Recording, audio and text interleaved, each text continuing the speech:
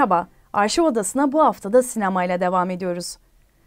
Önceki bölümümüzde Cannes Film Festivali'nin büyük ödülü olan Altın Palmiye'yi kazanmış ilk Türk filmi Yol'un yönetmenlerinden Yılmaz Güney'i dinlemiştik. Bu haftada ondan 32 yıl sonra yani 2014 yılında ödülü yeniden Türkiye'ye getiren başka bir yönetmeni dinleyeceğiz. Nuri Bilge Ceylan. Ceylan ödülü Kış Uykusu filmiyle aldı ama bu onun Kandaki ilk başarısı değildi. Daha önce de Büyük Jüri ve En iyi Yönetmen ödüllerini almıştı. İşte Arşiv Odası'nda bu hafta 2008 yılına gidiyoruz. Üç Maymun filmi Cannes'da ödül aldıktan sonra Londra Film Festivali'nde de gösterilmişti.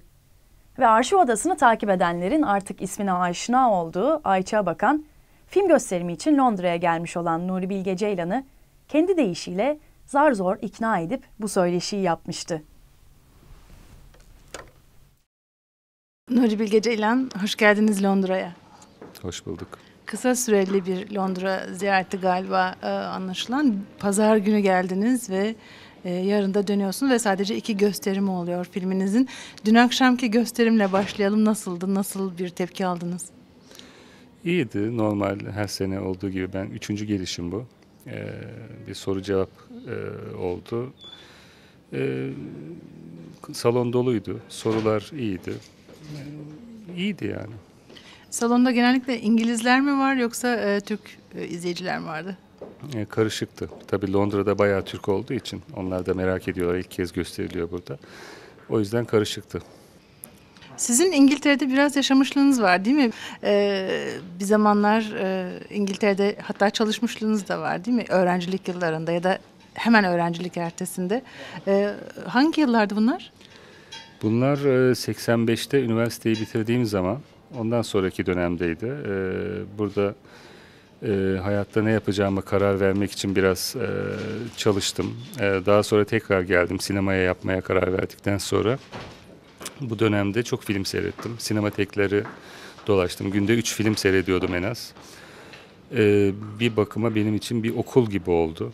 Bir de tabii burada çok buradaki günlerim epey yalnız geçiyordu. Yalnızlık da insanı daha açık, daha e, duyarlı bir hale getiriyor.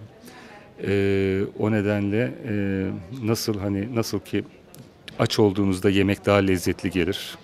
Onun tadını daha iyi hissedersiniz. Sinema için de öyle. Ona daha çok ihtiyacınız olduğu bir zamanlarda e, ki yalnız olduğunuz zamanlar böyledir. E, manevi bir takım şeylere daha çok ihtiyaç duyarsınız. O zaman filmler daha derinden etkiliyordu beni Londra günlerimde. Onun da muhakkak etkisi vardı. Yalnızlık çok önemli bir şey. İnsanın büyük kararlar alması ve hayatını değiştirmesi için. Yani sinema hayatımda önemli bir yeri vardır Londra'nın. 85 dediniz 20 yılı aşkın bir süre önce. Ee, 20 küsur yıl ardından bu sinemaya olan aşkınız artık biraz e, yatıştı mı?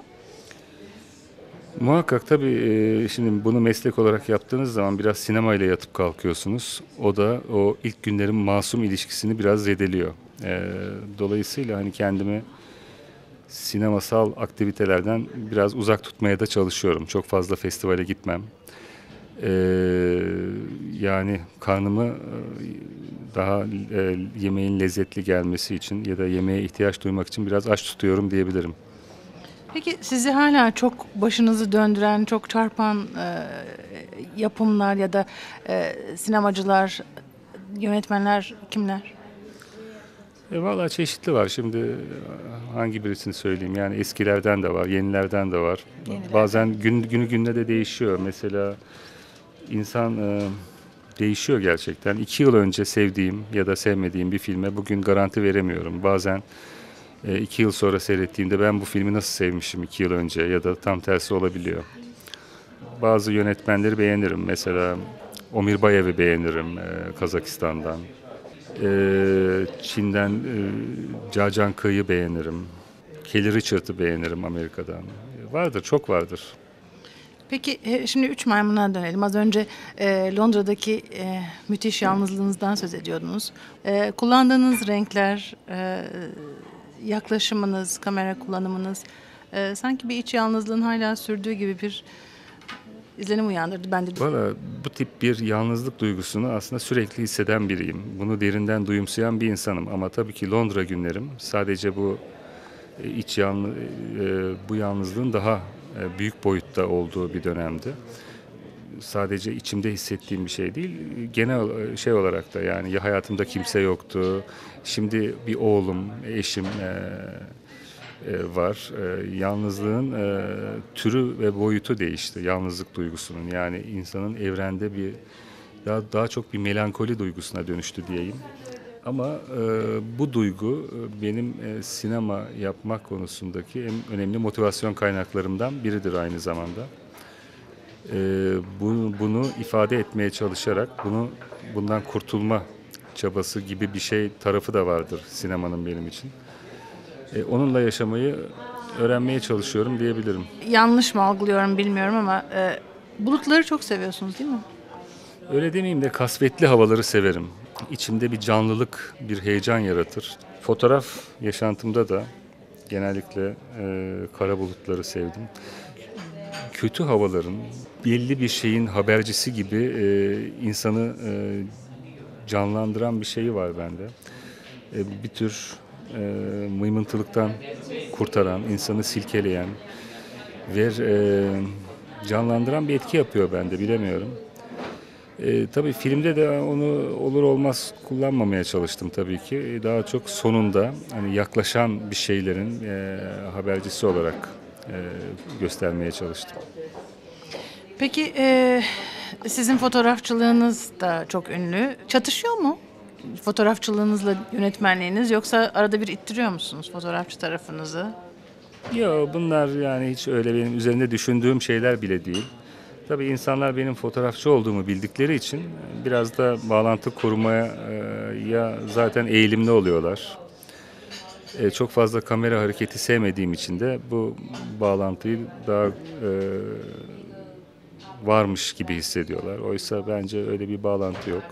Muhakkak ki çerçeveleme konusundaki bazı alışkanlıklarım sinemada da sürüyor olabilir ama bunun bu fark etmez yani. Tabii muhakkak ki e, zaten çerçeve konusunda bir ilinti fotoğrafçılıkla sinema arasında vardır ama bunun dışında sinema çok farklı bir e, alan. Bir sürü farklı başka elemanı da e, bünyesinde barındıran, onları kullanan, ondan yararlanan. Dolayısıyla hani fotoğrafçılık o kadar da fazla işe yaramaz. Yani bambaşka bir dünya yaratmak zorundasınız. Matematiği çok farklı yani sinemanın.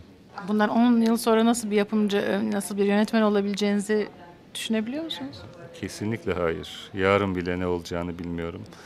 Ee, bir sürü duygular insanda bıçak sırtı e,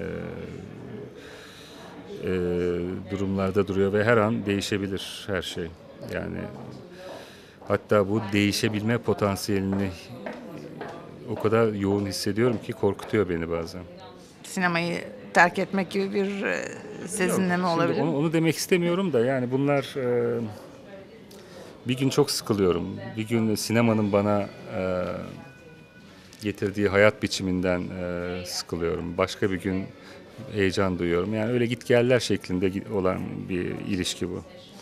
Ee, sizi etkileyen yazarlar kimler? E, Daha çok Ruslardan etkilendim. Mesela Dostoyevski ve Çehov gibi. Başta onları söyleyebilirim. Türklerden Sait Faik çok severim. Peki sizin acaba e, Türkiye dışında daha çok sevilir olmanızın e, bir nedeni var mı? Kendiniz nasıl yorumluyorsunuz bunu? Niçin yabancılar e, Nuri Bilge Ceylan filmlerini daha çok e, benimsiyorlar? Vallahi- Zor olduğundan mı? Şimdi tabii e, benim filmlerim çok kolay filmler değil. Biraz e, e, izleyiciden bir şeyler aktif olmasını talep eden filmler. E, ama yani yabancıların daha çok sevdiği gibi bir genelleme de kolay değil. Çünkü Türkiye'de de e, seven, filmlerimi seven insanlar az değil. E, muhakkak ki her yerde olduğu gibi Türkiye'de de filmlerimi sevenler de var, sevmeyenler de var. Bu da doğal bir şey ki böyle riskli bu tip e, sinemada her zaman insanları ikiye böler biraz yani. Çünkü biraz normal alışkanlıkların dışında filmlerdir bunlar. Herkese hitap etmez. Bunu kabul etmek lazım. Hangi ülkede çalışmak isterdiniz? Bir tek ülkede çalışmak isterim. O da tabii ki Türkiye. Çünkü bizim malzememiz sonuçta insan insandır ve ben sadece Türk insanının bütün detaylarını e, iyi biliyorum. E, en ufak bir mimik, en ufak bir hareket, en ufak bir işaret benim için çok şey ifade ediyor. İnsan doğup büyüdüğü ve en iyi bildiği kültürde yapma çalışmayı daha çok ister bir sanatçı diye düşünüyorum. En azından ben öyleyim. Nuri Bilge Ceylan çok teşekkürler programımıza katıldığınız için. Ben teşekkür ederim. Sağ olun. Arşiv Odası'nı Nuri Bilge Ceylan filmlerindeki gibi enfes bir görsellik içinden sunmak pek de mümkün olmadı tabii bu stüdyoda. Ama en azından dinlemesi çok keyifli bir söyleşiydi bence. Haftaya yeniden görüşmek üzere. Hoşçakalın.